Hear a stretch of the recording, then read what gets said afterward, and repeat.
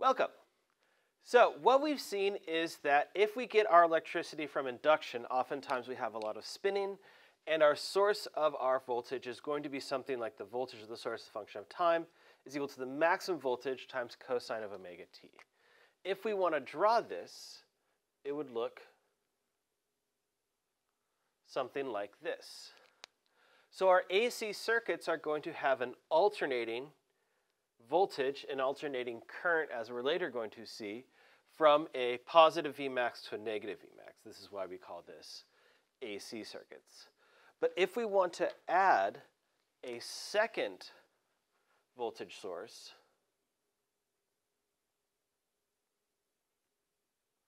that has the same frequency but is not in phase with it, then looking at this and looking at the addition of this is really, really ugly. It really, really sucks. I hope that you trust me on this. Instead, what we can do is we can represent where in this angle we are in with an angle on a Cartesian plane. So for example, at this point, we are at zero degrees. If we're at zero degrees, we would draw zero degrees. If we are at this point, we are at 90 degrees. So we would draw 90 degrees. If we are down here, this is after 180, but before, three, uh, before 360, in fact, even before 270. So maybe we'll say this is 225 degrees or something like that. This would be between 0, 90, and something this would be around 225 degrees. And we can do this for any arbitrary angle that we want. If we want to say look at 25 degrees, then we can do also 25 degrees. So what we can do is we can represent, right, a sine graph by its sine graph, or we can represent a sine graph by just the angle that it subtends as it goes along a unit circle. So just a single representation of this diagram isn't super useful, but if we want to add two sine waves together,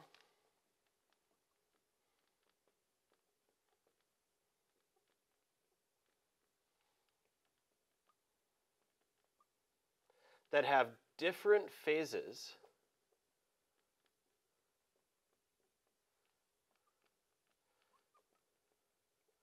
but the same frequency, we could think of having to add, right, this amount plus this amount, this amount plus this amount for all of this, and then we would then get some graph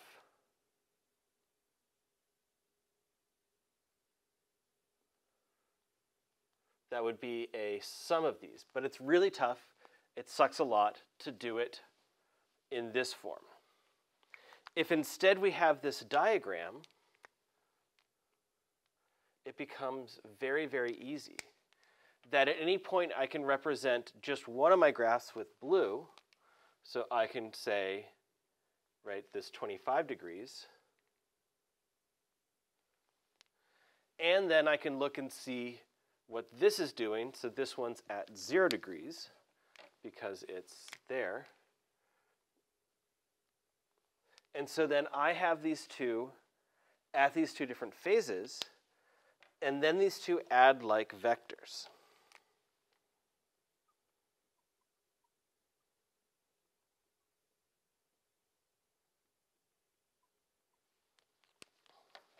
So I can either take this one and put it here, or this one and put it here, or do right a rectangular rhomboid rule. But I would get that this vector here is the resultant of the two vectors. So I can find that the angle is going to be somewhere in between and all of that. So I can also do this for two different vectors that don't have the same magnitude. If I have one vector with a small magnitude and one vector with a significantly larger magnitude, I can still do vector addition rules.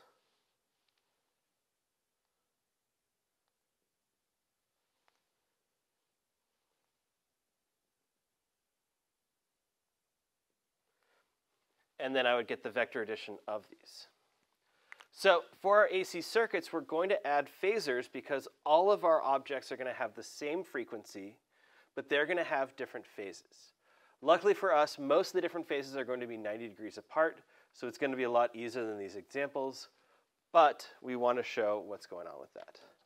As we're doing that, we want to have some shorthand for AC circuits.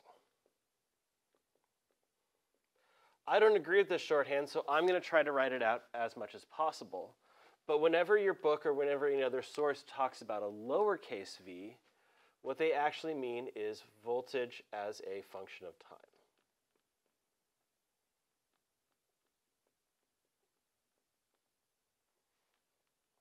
If they ever use a lowercase i, they actually mean I of t, which is current as a function of time.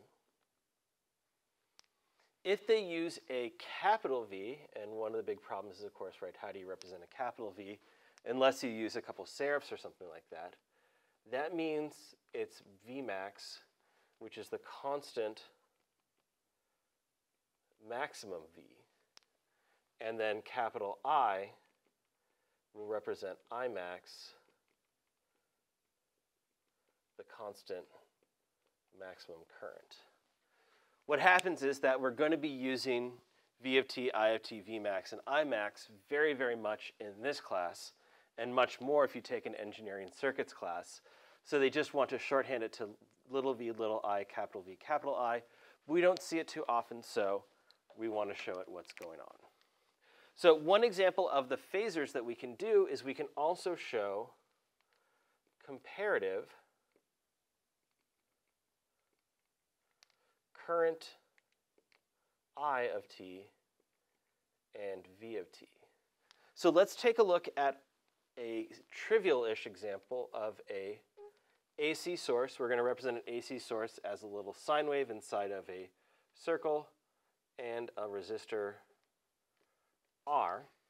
So with our loop rule, we have that the voltage of our source as a function of time minus R times the current over our resistor as a function of time is equal to 0. So we have I sub r as a function of time is equal to V of our source as a function of time over R, or that we can say that our right voltage of our resistor as a function of time is equal to R times our current